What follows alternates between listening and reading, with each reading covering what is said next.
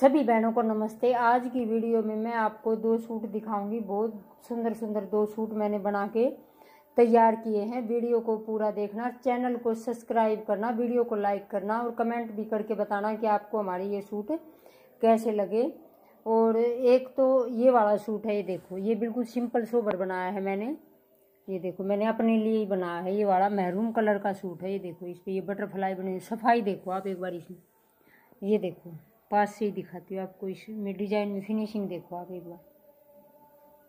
Light से colour लगाए मैंने, क्योंकि ये महरूम शेड के ऊपर ये धागे बड़े खिल के आए हैं।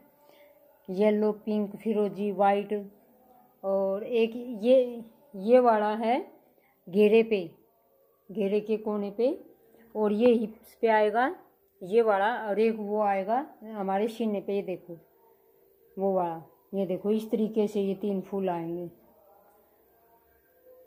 देख सकते हो आप ये कुर्ती टाइप में मैंने सिंपल सा डिज़ाइन बनाया है और इसकी बाजू भी है।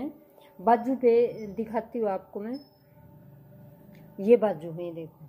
बिल्कुल दोनों बाजू पे ये दो बटरफ्लाई बना दी हमने। ये देखो। फिनिशिंग देखो बाजू पे। बहुत सुंदर ये बन के तैयार हुई हैं। बाजू भी, बाजू की बटरफ्लाई ये देखो। किसी बहन को अगर ये डिज़ाइन बनवाना है या कोई और बनवाना है तो आप बनवा सकते हो। और दूसरा सूट दिखाती हूँ आपको मैं। ये देखो, ये बहुत सुंदर सूट बन के तैयार हुआ। ये देखो, ये तो सबको ये पसंद आया। बहुत सुंदर सूट बन के तैयार हुआ है। मैं इसकी वीडियो लगाऊँगी। देखना आप।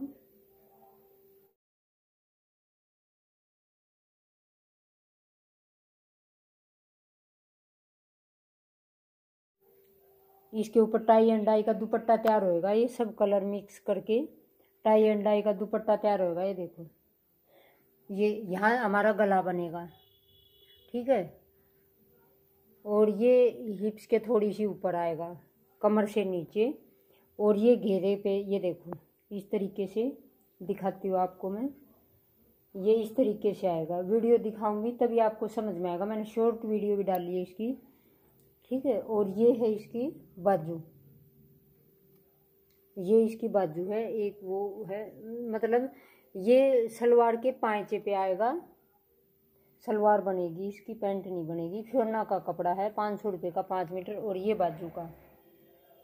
ठीक है, ये बाजू का है। किसी बहन को अगर ये डिज़ाइन बनवाना है तो आप व्हाट्सएप पे कॉल कर सकते हो या फ़ोटो भेज के आप मेरे से पूछ सकते हो इसका रेट। ठीक है? ये देखो। बहुत सुंदर सूट बन के तैयार हुआ है ये। ये यही पलवल से ये एक उनका है। ये देखो।